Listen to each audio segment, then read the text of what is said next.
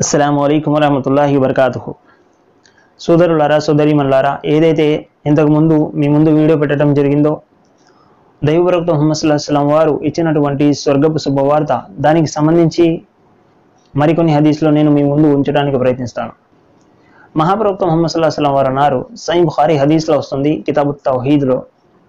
ఈ విధంగా తెలియజేశారు మన్ కాలలా ఇలాహ ఇల్లల్లాహు దఖలల్ జన్నా ఎవరైతే లా ఇలాహ ఇల్లల్లాహ్ పఠిస్తారో వారు స్వర్గంలో ప్రవేశిస్తారు అన్నారు. మరొక హదీస్లో వస్తుంది లా ఇలాహ ఇల్లల్లాహ్ తాహుల్ జన్నా. ఈ లా ఇలాహ స్వర్గపు తాళం చెవి అన్నారు. చూడండి ఈ కలమ యొక్క మహత్యము. ఎవరైతే ఈ కలిమా చదువుతారో వారు స్వర్గంలో ప్రవేశిస్తారు అన్నారు. ఈ మాట విని సహాబాలు అంటారు యా అసలు వారు ఉదయ ప్రవక్త మరి ఈ కలిమా మేము ఎప్పుడో చదివాం కదా.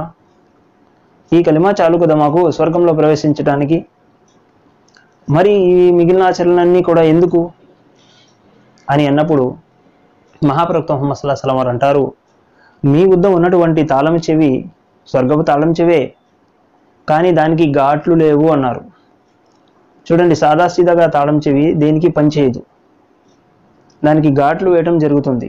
అది ఏదైతే కప్పకి సంబంధించిందో దానికి సంబంధించినటువంటి ఎన్నైతే ఉంటాయో అన్ని ఘాట్లు ఒక్కొక్క తాళానికి ఒక్కొక్క విధంగా ఘాట్లు ఉంటాయి. ప్రవక్త ముహమ్మద్ సల్లాహం వారు ఇదే ఉదాహరణ ఇస్తున్నారు. మీ దగ్గర ఉన్నటువంటి తాళం చెవి దానికి ఘాట్లు లేవు అది సాదాసీదాగా ఉంది అంటారు.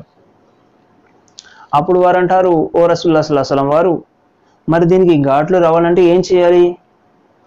ప్రవక్త ముహమ్మద్ సల్లాహం వారు అంటారు అఖీముస్సలా వ ఈతాउ జకాత్ సౌము రంజాన్ వల్ హజ్.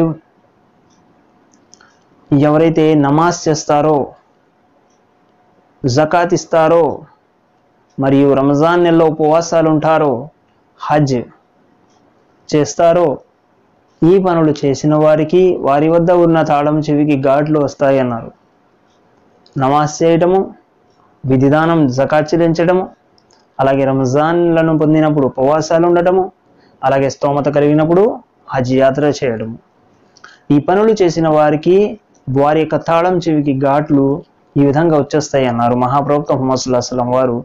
ఈ విధంగా శుభవార్తనిచ్చారు మహాప్రవక్త ముహమ్మద్ సుల్లాహం సోదరులరా. మరి మరొక హదీస్ని చూసినట్లయితే సునన్ నసై హదీస్లో వస్తుంది.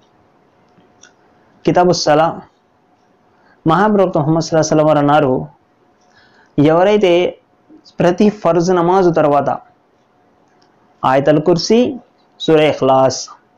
ఈ రెండు పఠిస్తారో వారికి స్వర్గంలో ప్రవేశించటానికి ఒక్క చావు తప్ప మరేది ఆపదు. చూడండి ఎంత గొప్ప విషయము ఎంత గొప్పటి శుభవార్తనిచ్చారు మహాప్రవక్త మొహమ్మద్ సుల్లాహం వారు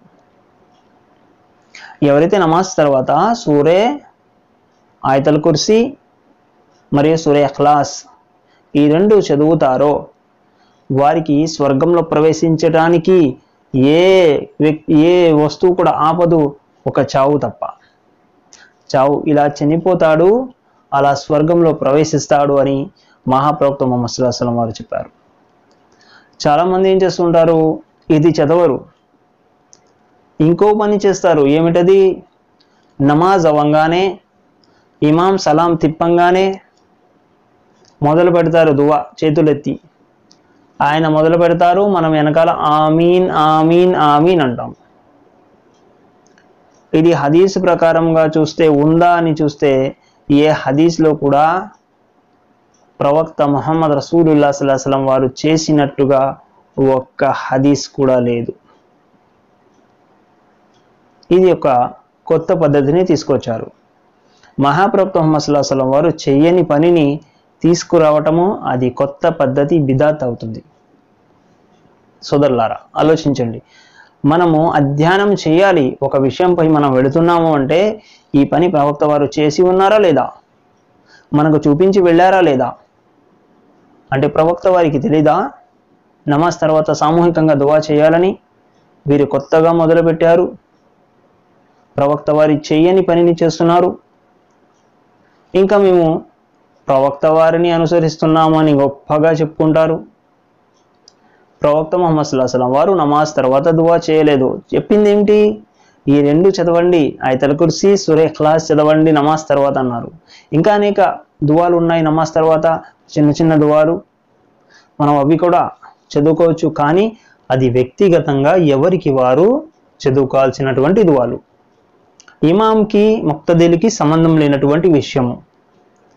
ఇది ఎటువంటి సంబంధం లేదు. ఎప్పుడైతే ఇమాం సలాం తిప్పాడో ఆ తర్వాత ముక్తదిలకి ఇమాంకి ఎటువంటి సంబంధం లేదు. వారి దువా వారిదే మన దువా మనదే. ఇమాం దువా చేస్తే అది మనకి వర్తిస్తుందా అంటే ఎంత మాత్రం వర్తించదు. మన దువా మనమే చేసుకోవాలి. అందుకే అల్లా సుబాన్ అవతల ఖురాన్ గ్రంథంలో తెలియజేస్తున్నాడు. సూర్యల్ బక్రాలోని నూట ఎనభై ఆరులో చదవండి. అల్లా సుబాన్ అవతల అంటున్నాడు ఓ ప్రవక్త మీ అనుశ్చర సమాజానికి చెప్పండి.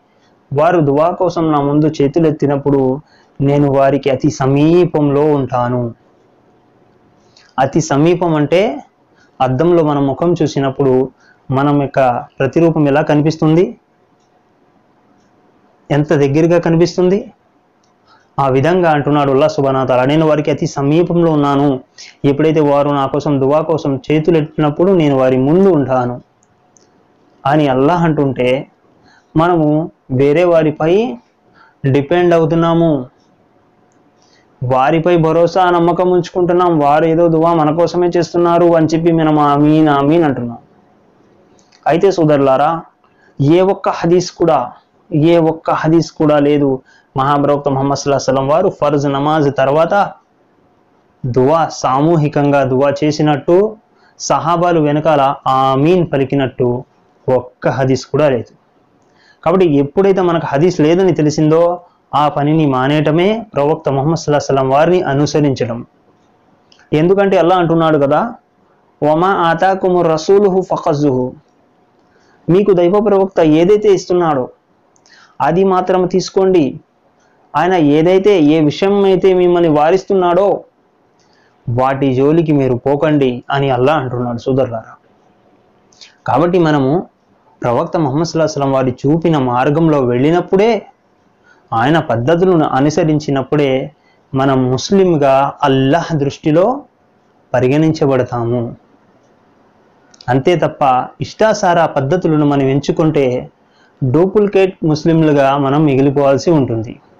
కాబట్టి అల్లా సుబానవతాల మీకు మరియు నాకు ప్రవక్త మొహమ్మద్ సుల్లాహం వారి పద్ధతి ప్రకారంగా జీవితాన్ని గడిపే భాగ్యాన్ని ప్రసాదించుగాక.